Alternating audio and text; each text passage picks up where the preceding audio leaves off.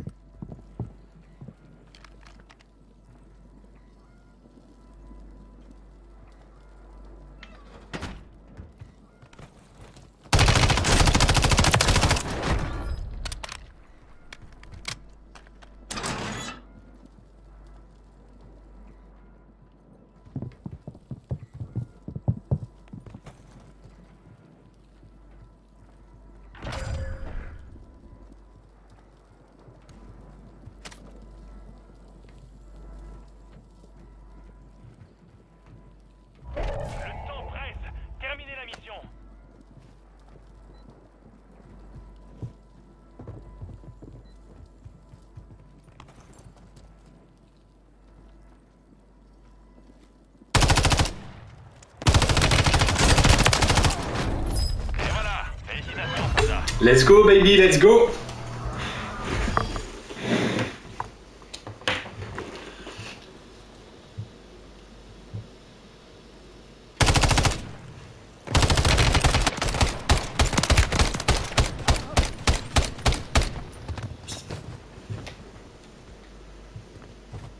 Et yo l'équipe, c'est Rookie du coup pour la classe MTZ 556. Elle m'a grave surpris dans le bon sens pour deux raisons. La première, c'est sa cadence de tir qui est incroyable et qui fait qu'elle a un profil de dégâts qui est franchement très très très intéressant, notamment sur Rebirth Island où c'est quand même globalement la majorité des combats à courte ou moyenne distance. Et euh, le seul truc qui me faisait peur, c'était le contrôle du recul, étant donné que la cadence était élevée. Mais avec les accessoires que je vais vous montrer, eh ben, il est euh, contrôlable et ce euh, sans forcer. Et ce qui fait que cette classe est franchement pas mal du tout si vous voulez changer un peu des méta. Et je pense qu'elle s'en éloigne pas trop, très honnêtement. Donc forcément, j'ai mis poignée lourde de soutien-poigne, canon long et lourd MTZ Drifter et le compensateur réducteur de flash Zen 35. Tout ça, c'est pour le contrôle du recul, avec également le canon pour la portée des dégâts. Ensuite, en termes de viseur, en ce moment, moi j'adore celui-ci, le réflexe Carter's classique. Après, je sais qu'il y en a beaucoup qui jouent en ce moment avec le Jack vert qui est, euh, qui, est dans le coin. Euh, voilà, il est là. Bon, moi j'avoue que je suis pas forcément fan. Je pense parce qu'il n'y a pas beaucoup de recul visuel avec celui-là. Donc c'est peut être intéressant. Mais honnêtement, euh, vous voyez dans le gameplay, ça passe très bien avec le Carter classique. Et enfin, par contre, là j'ai mis le maximum de cartouches. De toute façon, si vous voulez mettre quelque chose, c'est 20 ou 50. Et de base, il en a 30. Donc moi je pense que vu la cadence, même en solo, ça vaut le coup d'en mettre 50 parce que les balles partent vite. Voilà, voilà, j'espère que vous avez bien kiffé le gameplay la classe top. Et je vous dis à la prochaine. Ciao, ciao tout le monde.